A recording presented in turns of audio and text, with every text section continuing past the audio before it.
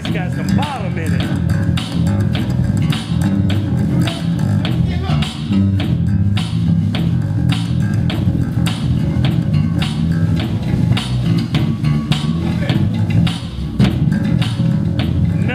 unadulterated bass playing. That's what you call real bass playing. That carbon is sweet.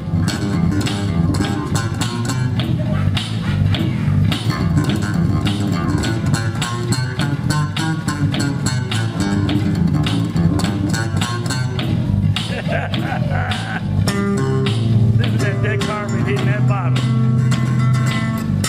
And that fiddler having the top. When you put together, it's number